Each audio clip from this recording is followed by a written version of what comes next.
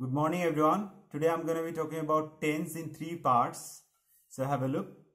There is tense formation and tense markers. Present simple. Verb, 1, he, she, it, s or es, is.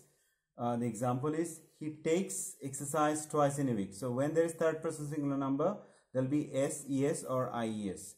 So look at the markers every day, every week, every month, every year, usually, generally, regularly, frequently, habitually, repeatedly, once in a week, twice in a week, once in a month, twice in a month. These will all mark present simple tense. Then coming to present progressive, am is are verb 1 plus ing. Look at the example. He is taking exercise right now now right now just now at the moment at this moment look and listen. These two verbs will always take ing.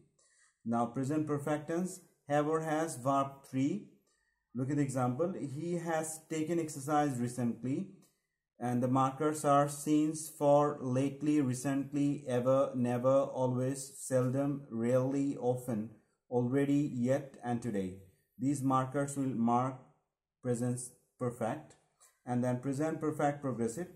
Have or has been plus verb plus ing. Look at the example. He has been taking exercise since morning for two hours. So since refers to point of time and for refers to period of time and the markers will be same for present perfect and present perfect progressive. So that's it from here. Thank you very much for watching this video